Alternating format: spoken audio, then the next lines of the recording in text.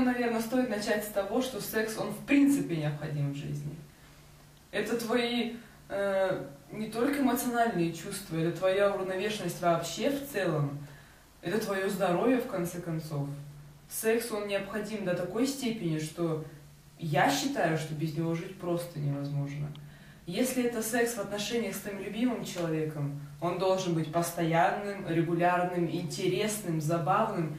Ну и, наверное, вне отношений, я считаю, если у тебя нет отношений, он в любом случае необходим. Не обязательно заводить отношения только ради секса. Их можно найти также и на стороне.